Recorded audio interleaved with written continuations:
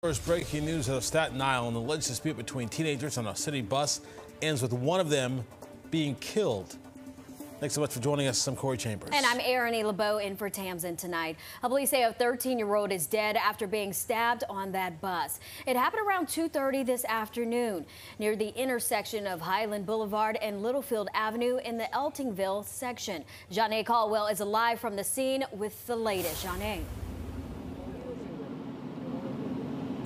Yeah, well, such an unfortunate situation that police say started with a dispute uh, on the S78 bus, which you can still uh, see sitting here on Highland Boulevard. Now, right now, a large portion of the street is blocked off to traffic as investigators have been combing through the scene trying to recover a weapon. But here's what we know right now. Police say around 2.30 there was some sort of dispute on the bus that led to a 13-year-old boy being stabbed. That teen was taken to Staten Island University Hospital, and police sources are saying he did not survive survived the attack. I'm told a 14-year-old suspect of uh, suspect of interest uh, is in custody right now, and as there are so many questions surrounding how this all unfolded, neighbors are reacting, saying they feel for both parties involved.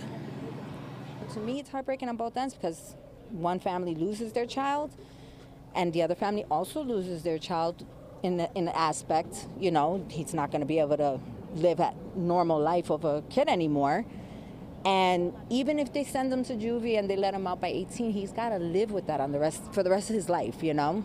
That a child lost his life because of him. And again, a weapon has yet to be recovered. Uh, police are expecting to give an update on this incident in just a moment. And coming up at 6, uh, I'll be bringing you the very latest. That's the latest here uh, in Eltingville. Janae Caldwell, Pix 11 News.